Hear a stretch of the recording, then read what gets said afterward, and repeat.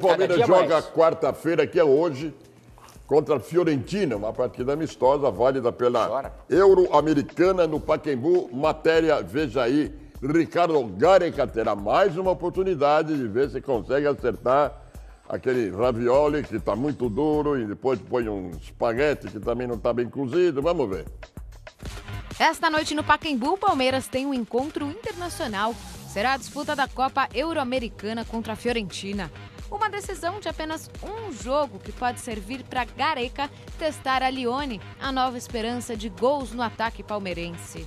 quizá tenga la posibilidad Lione de, de jugar, es una nueva incorporación de, de Palmeira, entonces pueda, te- pueda tener de que la torcida de Palmeira lo pueda observar. Outro que quer aproveitar o jogo para encher os olhos de Dunga, técnico da seleção, é o brasileiro Neto, que defende o gol dos italianos. Uma oportunidade muito importante poder estar retornando ao meu país, onde, onde eu me criei, onde eu aprendi completamente tudo na, na minha carreira. Para o comandante da Fiorentina, Vincenzo Montella, o jogo é uma experiência importante para todos e uma preparação para o campeonato italiano, já que o nível da partida será muito alto. Sobre a situação do Palmeiras no Brasileirão, é bom deixar para lá, né, Gareca? Quinta feria, sexta feria, si você quiere, falamos de, de lo que está aconteciendo en Palmeira. Eh, no, no tem problema. Eh, mas hoy, hoy vine, vine a hablar de- de- del partido de Fiorentina. É, meu amigo, e quando a fase está complicada, até finalização em treino é aquele desespero.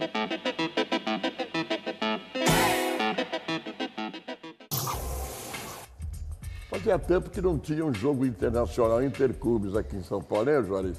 Muito tempo. Fazia, né? Essa Euro-Americana aí faz parte da, da, da organização da pré-temporada dos times europeus, que são os, acho que 10 times europeus que jogam contra 10 times sul-americanos. Já teve um, uma pá de jogo aí, até que chegou esse jogo da Fiorentina contra o Palmeiras no Pacaembu. E o Palmeiras aproveitou né, para também comemorar o seu centenário e está em disputa hoje uma taça é, que é em homenagem a esse jogador maravilhoso que o Palmeiras teve, que o futebol brasileiro teve, que é Júlio Botelho, porque ele foi campeão pelo Palmeiras e, e foi campeão pela Fiorentina, né? Reverenciado. Hoje- Então hoje presta-se a ele uma grande homenagem no Pacaembu. Hoje eu vi no- numa rádio de muito prestígio aqui, é, um comentarista super falastrão comparar Julinho Botelho com o Edmundo.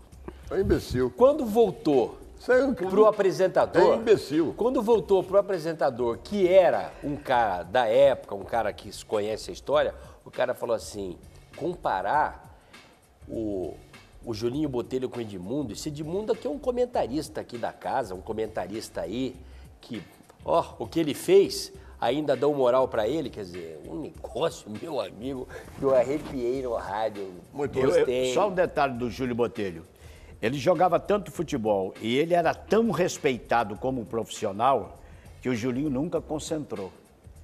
Nem na academia do Palmeiras, cujo ataque era Julinho, Servílio, Tupã, Ademir da Guia e Rinaldo. Ele concentrava se ele quisesse, senão ele ficava na casa dele, tantas horas marcadas, ele pegava um táxi, ia para concentração, almoçava com os caras e jogava. E nenhum jogador reclamava, porque sabia que ele era o exemplo. E ele é tão amado lá na, na- em Firenze que até hoje, para quem vai a Firenze, vai num determinado restaurante, lá tem uma mesa e uma placa em cima na parede da mesa. Qui mangiava botelho. Botelho. Belíssimo.